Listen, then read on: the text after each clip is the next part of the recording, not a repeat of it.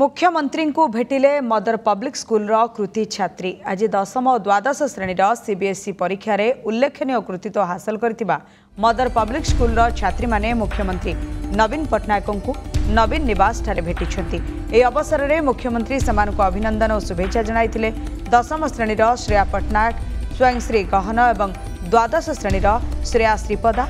श्रेया दशम श्रेणी में शत प्रतिशत नंबर रखी सर्वभारतीय स्तर में श्रेष्ठ छात्र छात्री स्थान हासिल करयंश्री अनिश्वत दशमिक छ प्रतिशत नंबर रखिंट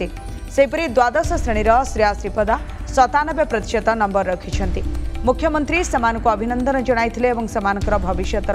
लक्ष्य संपर्क में पचारि बुझी